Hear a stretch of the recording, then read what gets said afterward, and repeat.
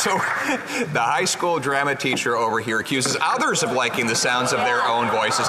This from a guy who, if he were made of chocolate, he would eat himself. yes, Mr. Speaker, I was a high school teacher before getting into politics, and I'm having a little trouble remembering what exactly the job that the Leader of the Opposition had before getting into politics. Yes, and uh, yes, and he left right in the middle of the semester, and I'm having trouble remembering why. Oh!